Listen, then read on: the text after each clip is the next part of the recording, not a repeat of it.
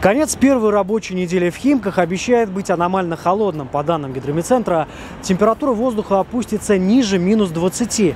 Это примерно на 10 градусов ниже климатической нормы. Тепловые пункты и котельные начинают работать на полную мощность. Это один из тепловых пунктов ТСК «Мосэнерго» в Химках, который отапливает 90% всего жилого фонда города. Этот пункт подает тепло в большую часть домов новых Химок. По словам главного инженера Сергея Хлебина, в ближайшие дни, если температура опустится до минус 25, в батареях будет почти кипяток. Батареи должны при минус 25 быть, температура максимально 95, минимально 70. 95-70 это не в каждой квартире должно быть 95, а на входе в дом должно быть 95.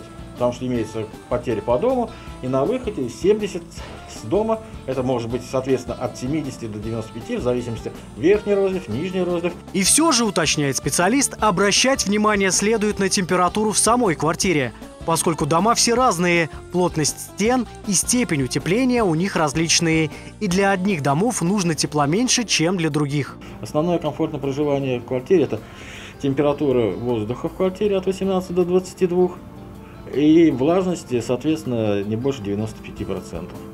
Э, если воздух будет влажный, влажный 100%, даже 18-22 будет вам казаться холодно, и 25 будет казаться нормальным. Но это не та температура, которая должна быть в квартире. Роспотребнадзор напоминает, что в жилых комнатах допустимая температура в холодное время года должна составлять 18-24 градуса. Если она не соответствует нужному значению, необходимо сообщить об этом на портал Добродел или на горячую линию администрации города. Мы, как администрация, видим изменения э, температурного режима на улице, то направляем факсограмму э, в ресурсоснабжающие организации, чтобы они привели э, норматив э, подачи тепла в соответствие с графиком.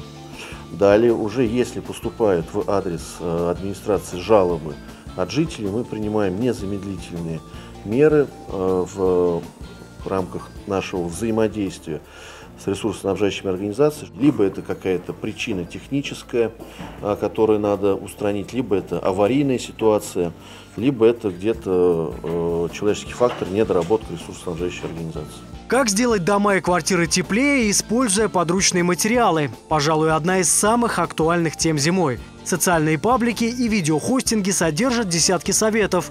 От банальных заклеить окна скотчем и обложить стены теплоизоляцией до экстраординарных. На этих кадрах умелец собрал цепочку из компьютерных кулеров и существенно утеплил свой дом.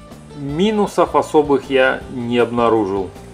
Так что этой системой я доволен. Она очень легко ведь и собирается.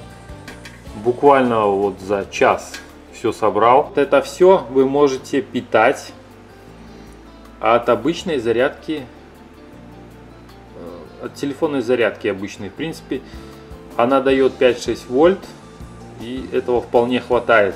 Они просто, вентиляторы будут крутиться чуть помедленнее, но эффект будут давать шикарным. А этот видеоблогер предлагает согреваться с минимум затрат. Достаточно всего несколько кирпичей и плиты. Греемся при помощи газовой плиты.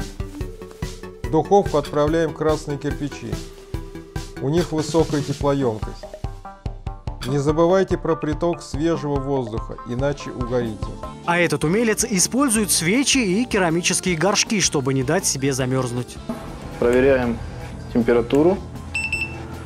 145 градусов. Температура в помещении поднимется за считанные часы.